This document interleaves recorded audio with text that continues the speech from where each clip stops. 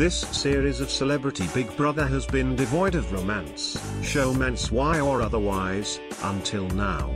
While Andrew Brady appears to be getting closer to Courtney Act, Made in Chelsea star Ashley James looks set to be Ginuwine's next wife as the two got hot and heavy behind the table last night. Viewers saw the pair get flirty as the 47-year-old pony singer rubbed her legs and held her hand. Their blossoming romance saw Ashley, 30, joke that the pair will end up kissing in the spa and journalist Rachel Johnson teased she was CK blocking.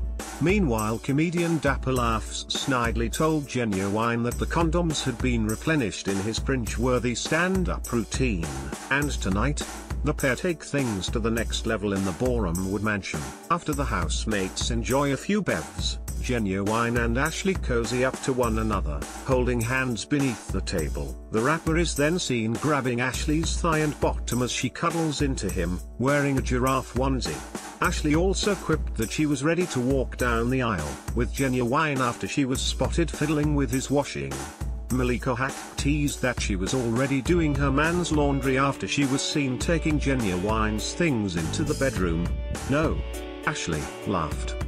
I needed to dry my stuff and his stuff was in the washing machine and I needed to take out. I almost folded them then I realized that I wasn't his wife, yet. Could we be seeing our first celebrity Big Brother wedding? CBB continues tonight at 9 pm on